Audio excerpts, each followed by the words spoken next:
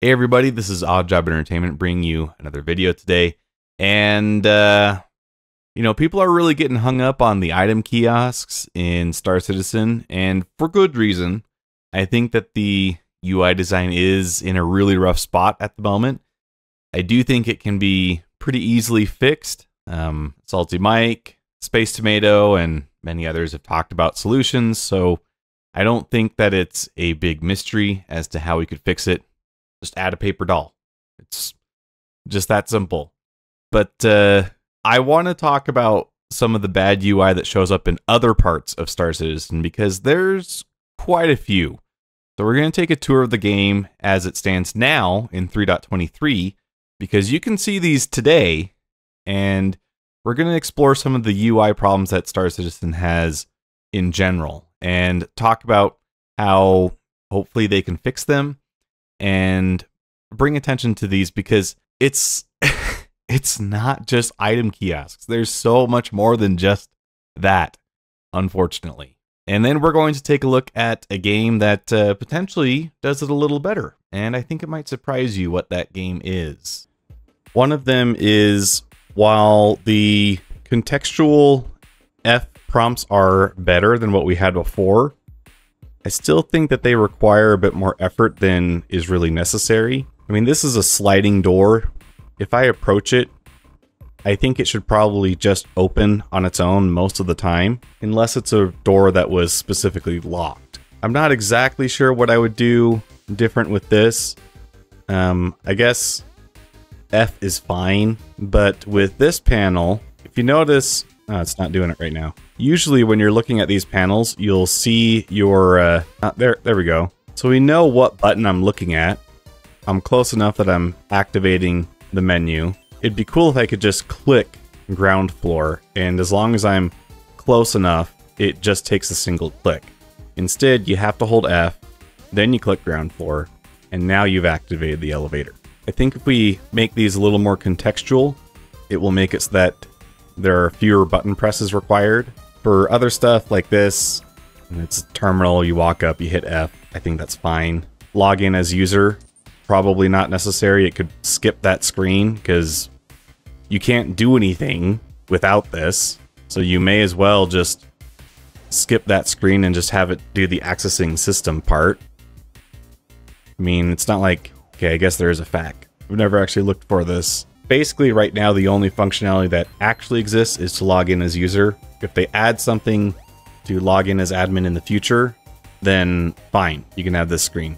But I don't like it as it is because this is the only thing I ever do with it. Okay, we're off to find more UI things that bug me in this game. Gotta go to the Metro Center. Oh, actually it connects here. That's This is perfect. So you go to the hospital, right? Go to the hospital, you're saying, Morty, he bade me, Morty. You check in. This part's fine. You use the screen, 4-5, room 4. Uh, it'd be cool if it gave you a marker. Now that we have this mini map, like, it'd be cool if they uh, integrated that somehow so that it tells you where you're supposed to go. Here we've got another elevator. Would be nice to just be able to contextually click. Okay, floor 5, room 4, right? 5, room 4. 0, wait, zero one, zero three two, evens are on the left. That's how it works. Another door, have to press the button. Okay, this is the part that really bugs me. You lie down. What possible options do I have here besides medical care and regeneration? So why can't I just... I've got medical care highlighted. Why can't I just click it? Instead, you have to do this whole song and dance to hold F and then click through all these options. If I'm in the treatment bed, why can't I just contextually click without having to hold F? You get what I'm saying? Because if you are, if you're operating as the medical assistant, you get an easier option you can just uh, click this while you got your patient on the bed here. So why can't it be the same when you're the one in the bed? Okay, so that one bugs me. For the next one, we gotta go to the spaceport. I'm getting some really rough frames right now. And trains, cool concept, but waiting for a train in a video game is dumb. You get the same effect by just having a five second wait.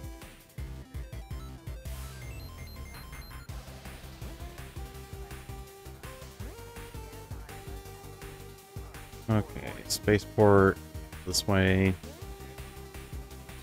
Eyes are hurting because of all this frame lag. Okay, so you come to the ASOP terminal and you have one singular list of all of your ships. This thing is due for major overhaul because we have so many ships in games, and because we have so many ships in game, and you have players like myself who we have more ships than we actually want to scroll through. And so why not have a toolbar across the top, little icons, like a little jet fighter. Um, you could have a little mining laser, a box for a cargo ship, and you can just have like categories of ships to narrow down your search. That would be pretty nice. But let's pull out the Gladius. We'll go to Hangar 9 and see here we get a marker. And that's really nice. Why don't we get a marker in the clinic? Because that would also be nice. Server meshing can't come soon enough. And then in the future, you know, I'm not playing on 3.24 obviously, but uh, you'd be going to your personal hangar, right? And so the process is a little different. It's basically reversed. You can go to your personal hangar and then use your ASOP terminal in here. But the fact about the toolbars still applies. So you walk up to your ship, 99% of the time, what is the exact same sequence that you do every time? You can hold F and you can access the other options here, which is fine. Just do the enter pilot seat because we knew that that's what we were going to do, right? And then this is a single seat fighter. There's no area to go behind me. And this is the only occupiable space. So the only thing that I can really do at this point is turn the ship on. So what I would like to see is in addition to simplifying the process of getting into the ship like they've done, I want to be able to just set everything as a macro of sequences. Because 99% of the time, if it's a single seat ship, I'm going to get in the pilot seat, hit flight ready, without variation. And so for the 90 or for the 0.01% of the time that I don't want to do that, let me hold F to cancel that sequence. And then instead of clicking the default action, I can then tell it to just enter the pilot seat, for instance. Okay, let's get away from this stutter fest. I do like the new sounds. New sounds are very nice. Whenever you're flying in quantum travel, it's a good opportunity to try to catch these uh, effects, get some nice rotation shots. Now that we're away from Lorville, my frames look like they're picking up too, so that's nice. Get a similar shot of the bottom. Try and slow down the rotation a little bit. Takes a lot of concentration for me on the muscle memory side. I'm pinching the mini joystick between my thumb and forefinger to get it at just the right angle so it does a slow rotation. I don't have the thumb to basically pinch against. It's way too easy to just get this spinning too fast and then you don't get a good looking shot. Now let's try a little fancy one. Let's do, ooh, see that? That's a cool shot. The three-dimensional rotation in. That was a pretty good let off too. That was one of my better, better stops.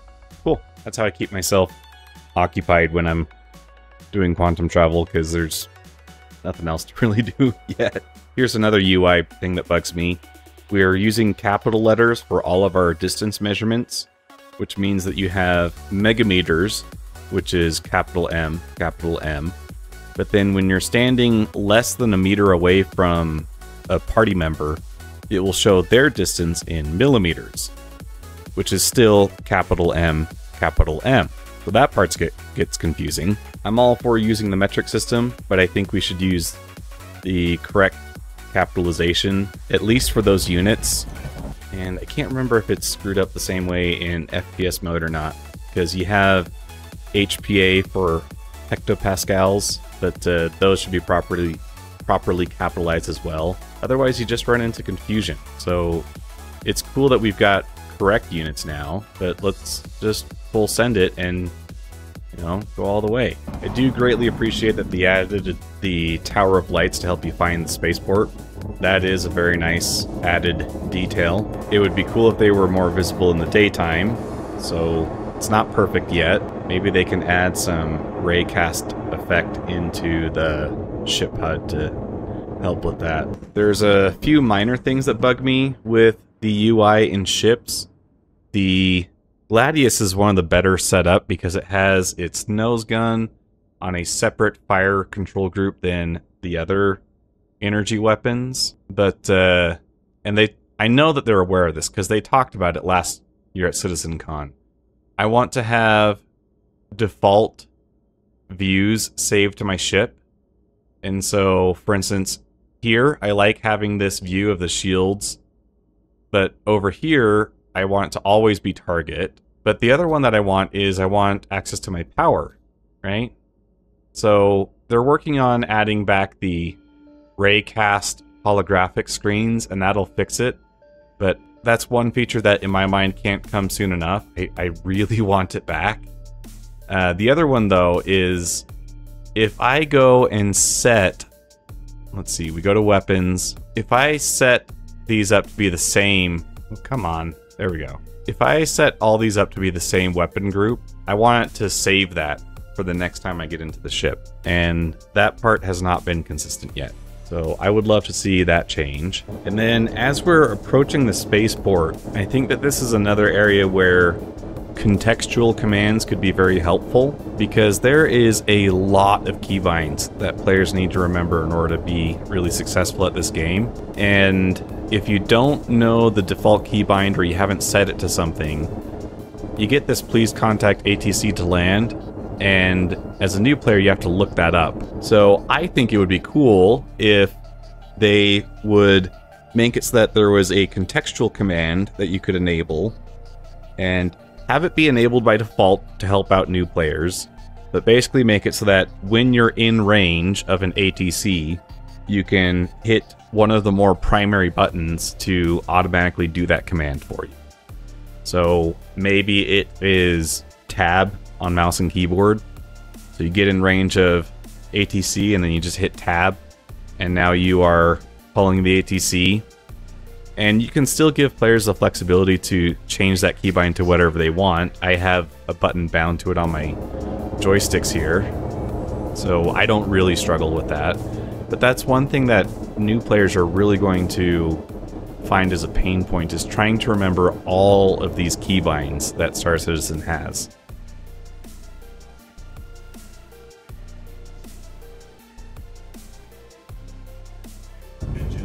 And then if you're landed, I think they could make stand to make it a little easier to power the ship off. Um, I know that there is a keybind to do that specifically, but I think consolidating some of these keybinds needs to happen in order to, again, make it easier for newer players. Me personally, I just never bother with it. As long as you have your engines off, it doesn't really seem to matter. But at some future point, I guess it should, right? Now we're landed at a new city. We've plopped our ship down. And in the new hangar experience, some of the stuff you can do straight from the hangar. I would argue that there's still a lot more that you should be able to do from the hangar.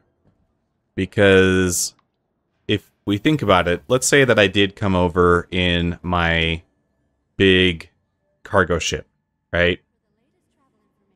I now have to go from the outskirts of the town to the city center to place an order for cargo, and then I go back to the outskirts of town to then pick up that cargo and put it into my ship. It if you think about it, it makes a lot more sense from the realism perspective that you'd probably just be ordering that through your mobiGlas, setting up an order ahead of time. So they could put the trade terminal into an app on the mobiGlas, and that would be pretty nice. The other thing they could do is they could just put that trade terminal functionality into the hangar terminals. And I think doing both is actually the key there. Because if I'm already at the hangar, I forgot to make my order, then doing it from a hangar terminal is just an added convenience. Where doing it from the mobiGlas is it, the convenient part about that is like you can set up an order from anywhere and then it's like, okay, well, I'm on my way to X location. Let's have them reserve so much of this type of cargo for me, and I'll pick it up when I get there and pay for it when I arrive. You pick it up, load it onto your ship, and then you take off to the next place and you say, hey, I'm bringing such and such cargo. I'd like to sell it. Let's get a sell order, and then uh, we can finalize the transaction once I get to the new location. You know, simple things like that. It's not breaking the lore. You're still negotiating these things yourself. You're still having that experience, but it's removing some of those pain points that realistically wouldn't exist 900 years in the future, right? Like, um, tonight I just ordered $200 worth of equipment for myself to work on some of the videos that I've got coming in the pipeline. And I did it from my phone. It used to be, sure, that you had to do it from a desktop because we didn't have smartphones, but surely 900 years in the future, you can just order things when you're just out and about with your little uh, super watch, right? Oh, look, they do have the unit screwed up. That should be a lowercase a because it's hectopascals. And I can't remember exactly, but I think there's a. I think there's two H units because it, it follows the standard metric scale. And so, you know, you have like decas, decameters and decimeters. And you just denote one by changing the capitalization again. So I'm all for having the metric units, but we got to make sure that we're honoring that capitalization. Otherwise, you get into issues. And then, what is that? You have lowercase letters in this one.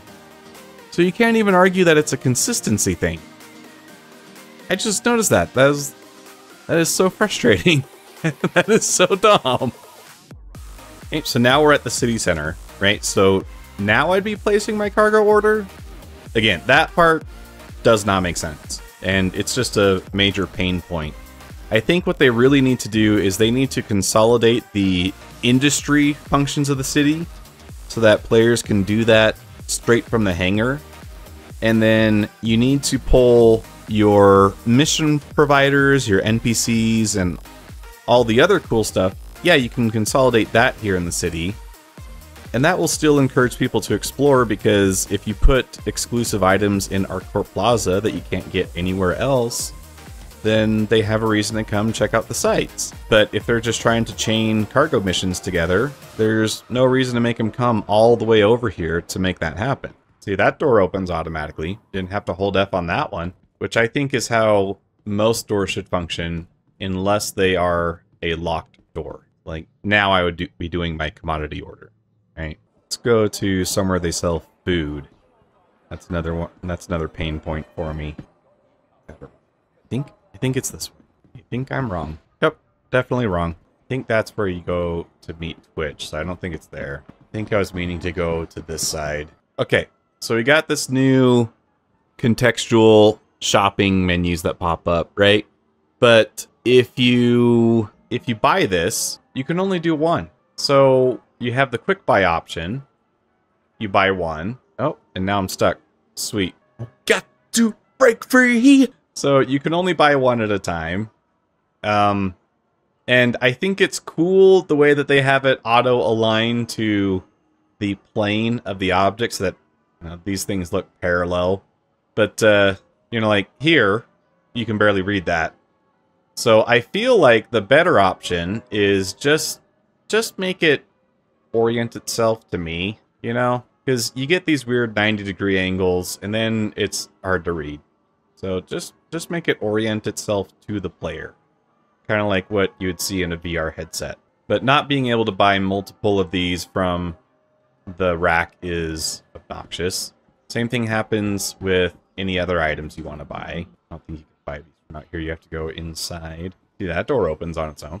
So you're looking around. It's, ooh, I like the custodian. I would like to buy 20 of these, but you can only buy one at a time. So why not just bring up that little menu, uh, the sub menu that comes up in the terminals? Just bring up a holographic version of that. You know, so like you click buy, right? And then you can just in increment how many you're buying. I want this functionality in the shopping menus, the in-world shopping menus. I can't. They had a word for this. I can't remember what it is. I want to be able to buy ten at a time. Same thing obviously applies to all these other things mounted on mannequins too. Oh boy. Hopefully, uh, Attack of the Clones is going to let me through here. Server meshing, server meshing. Okay, so Astro Armada does not have a ton of ships on display. I think they only have the one, right? So you pull up your little kiosk, click one of these ships. There's not a whole lot of information in these ship purchasing terminals. It would be really cool if they incorporated more information here because, you know, how much uh, SCU does the Origin 300i take? Uh, is the 315 any better in that respect? You know, and I'm just throwing these out as hypotheticals. I know the answer myself, but as a new player, you have no idea. You just see this ship, and I mean, if you're at a auto dealer, they would be telling you all the specs about the ship. They might exaggerate a little bit, and don't really want our video game to do that. But, uh, I mean, you'd get a little brochure. So why can't I scroll down here? Scrolling down, the only thing that it does is zoom in and out on the ship. But why can't I scroll down here to find out more about it? And I think the same thing should apply when you're purchasing larger items like ships, you know, straight off the rack, like this Hawk here. I don't know if there's actually an angle where I can get it to do the thing, but when you walk up to a ship in other locations that do have more ships on display, you can walk up to them and hit the buy button. But again, it doesn't bring up any information. So before you hand over millions of credits, it'd be nice if on that same page you could read a little bit about the ship that you're about to buy. What does the Reclaimer do? What does the Redeemer do? Why are they named similarly? Are they made by the same manufacturer? So that's another UI pain point for me. And this is not a UI complaint for me. It's uh, more just a uh, puzzling detail. In the US, you always go through on the right. So if you're supposed to be following arrows, those arrows would keep you on the right. I know in the UK, they drive on the wrong side of the road. So is it the same thing with walkways? Is that why these arrows point what to me seems like a strange direction? Because you have these arrows pointing that, that way, and then these arrows on the left again are pointing the other way. And then just when you think you've got it figured out, you have this arrow pointing this way, and then this arrow pointing this way. But this is the this way route. So if this is the this way route, why do we have a that way route? Waiting a solid minute for a train in a game. I guess I should be glad it got here early.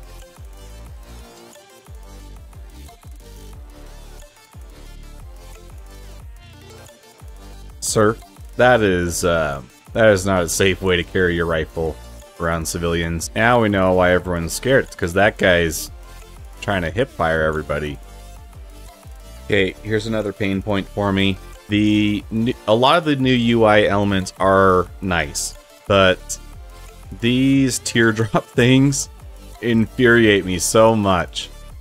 Um, we used to have just kind of like a little thin circle icon, and I think that that one was better because it was less obstructive. The teardrop accomplishes the same task overall, but takes more pixels to get it done. And so I just find them more distracting. Again, interpilot seat and then flight ready macro. Please, please make it happen. All right, for my next trick, we need to stare at the sun. They've gotten a little better.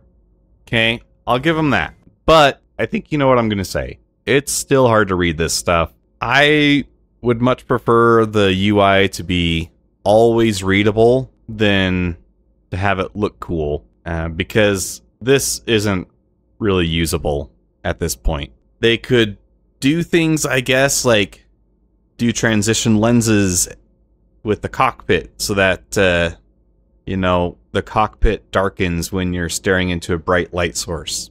I mean, that could help. And they could also have the font color change when you're staring into a bright light source. Maybe they pick just a flat 2D graphic that is always going to stick out.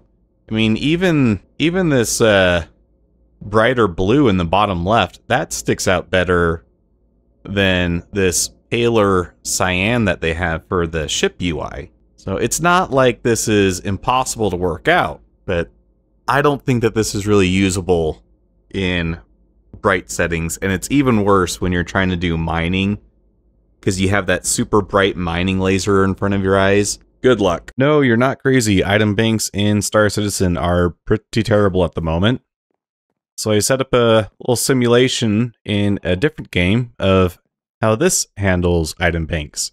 Here we've got an ender chest. We'll put this particular netherite sword in here with sharpness 3 and parry. Shift click that in. And we take the train. We come to another item bank. Oh, look. There it is. And we have it instantly equipped. Um, okay. What about uh, armor? Oh, shoot. Gotta not being gotta not being creative. All kitted up. So it doesn't need to be super complicated. We are we're we're allowed to have nice things be quick. So you could do your little animation. Um, this is supposed to work with shift click, which I can't get to do that right now. But uh, I mean, if you just walk up to your armory or armor stand in Star Citizen, you know, just just let us hit the use button once. You can play a short little animation, but just let it equip everything all at once. And uh, in our inventory screen, give us something like this where we can just throw stuff on super quick. It doesn't need to be a two step process. I wanted to keep the analogy going just a little further. Our ender chest here is akin to our station inventory, and when you arrive at your home base, it's going to have all of your stuff in there, right? So you would wake up, you'd go to an item bank, and you have access to all your stuff. And then a normal chest is basically analogous to station inventory anywhere else. It's not your home. You don't have stuff stored stored there already, so it's just whatever you put there on your own, right? So we've got that. Doesn't pop up in the ender chest. So I think we can draw some pretty pretty direct comparisons to how these two systems compare. Uh, one is super easy to understand. The other is very complicated and unnecessarily so.